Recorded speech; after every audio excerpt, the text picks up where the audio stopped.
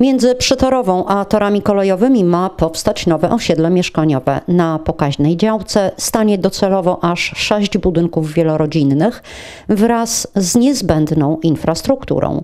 Jednak bliskość skrzyżowania z ulicą Sejneńską i dość ciasna ulica Przytorowa mogą stanowić problem dla przyszłych mieszkańców, którzy mogliby mieć kłopoty z płynnym wyjazdem z nowego osiedla.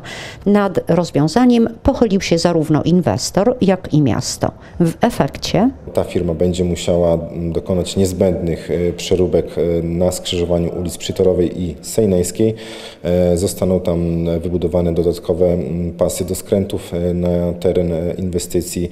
Zostaną wybudowane oczywiście chodniki, ścieżki, ciągi pieszo-rowerowe, nowe oświetlenie, zostanie przebudowana jezdnia. Zatem to jest zakres inwestycji, który jest zaplanowany do wykonania. Nie po raz pierwszy miasto sięgnęło po możliwość zobowiązania inwestora do przebudowy drogi stanowiącej istotny element układu komunikacyjnego w pobliżu nowej inwestycji. Jeżeli e, powstaje jakikolwiek e, market, e, sklep, inwestycja mieszkaniowa, zawsze przy tego typu inwestycjach są potrzebne zmiany w układzie drogowym i tutaj zawsze egzekwujemy, by te zmiany finansował w 100% dany inwestor.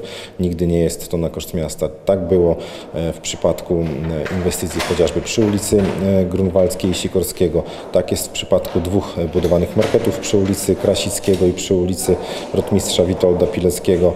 E, Tak jest przy okazji budowanego marketu Aldi przy ulicy Raja. Zatem zawsze w 100%, jeżeli jest konieczna do wykonania jakaś zmiana układu drogowego, to zawsze finansuje to inwestor, nigdy miasto. Nowa asfaltowa nakładka wykonana na Przytorowej poprawiła wprawdzie komfort jazdy, ale nie ma chyba w mieście osoby, którą drugi koniec ulicy by zachwycił. Wjazd i wyjazd od strony utraty jest już wystarczająco drożny, jakość jezdni przyzwoita, choć ciąg pieszy znajduje się tylko po jednej stronie. Druga to kurz, pył i parę betonowych płyt.